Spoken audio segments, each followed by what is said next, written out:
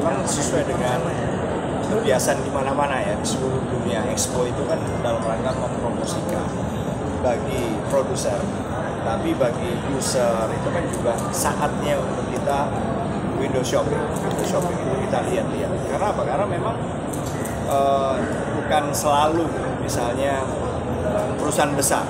Dia tidak selalu paling advance.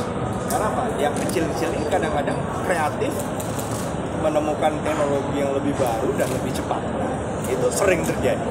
Makanya expo di mana pun juga itu selalu biasanya sangat menarik khususnya bagi user.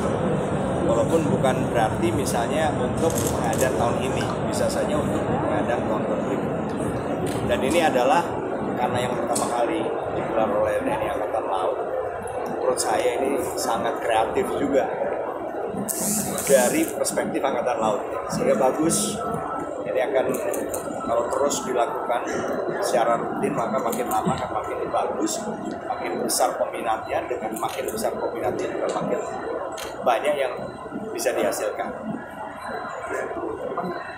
ada lagi? Ya. Ya.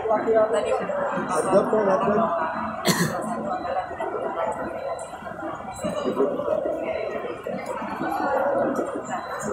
bagaimana Bapak bisa kita untuk bisa menyiapkan dan realisasikan alat film ini karena kita sangat membutuhkan uh, jasa kita yang perlu yang handal yang kualitasnya lebih baik bisa digunakan di sendiri. Ya, kalau dalam hal alutsista, lagi-lagi ini menurut saya kita memang harus realistis. Anggaran yang dimiliki oleh Angkatan Laut Kementerian Pertahanan dalam alutsista itu tinggal bagaimana kita membeli secara efisien. Karena apa? Karena alutsista konvensional itu semakin ke sini semakin banyak penggantinya. Misalnya tadi yang dilakukan oleh Bus Hidros tadi, pemetaan bawah laut. Biasanya misalnya menggunakan bukan wideband dan menggunakan single beam saja, tapi menggunakan kapal normal. Yang berarti kan operasional cost-nya lebih besar. Dengan menggunakan jet ski apalagi suatu saat nanti ada yang sifatnya unmanned tidak berawak lebih kecil lebih hemat maka ini lebih efisien. Sehingga di sinilah fungsinya ekspor.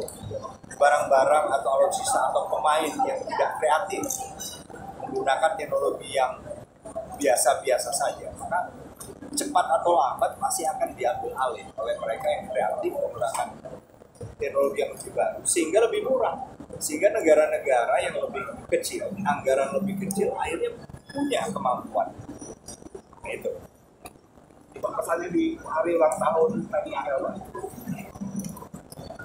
oh.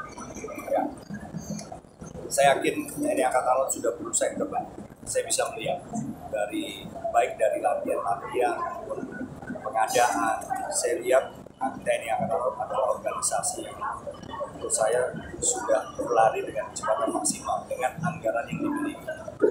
Jadi kalau ini terus dipertahankan, kontinuitas yang paling penting, leadership juga dipertahankan, maka TNI Angkatan Laut bisa akan maju sesuai dengan anggaran.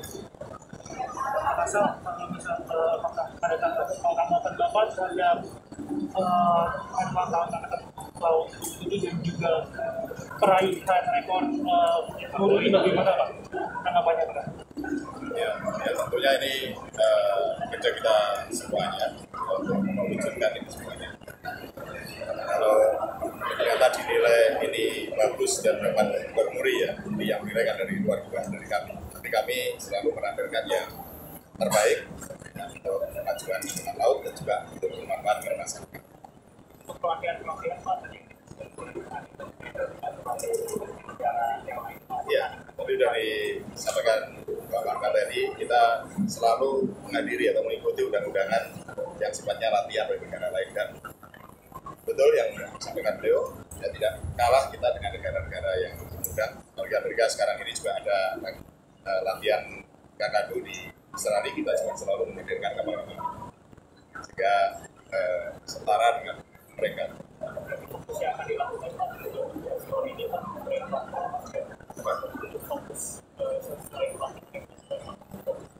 Ya kita tetap meningkatkan profesionalisme prajurit. Tadi yang berarti bukan kepada beliau di generasi mendatang supaya tidak mundur tapi tetap harus lebih maju.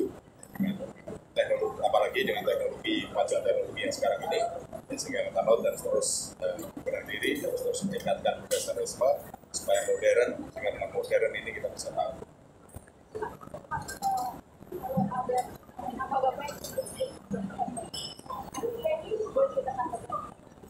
Itu kan prerogatif presiden ya. Sama presiden. cuma ya. Ya. oke ya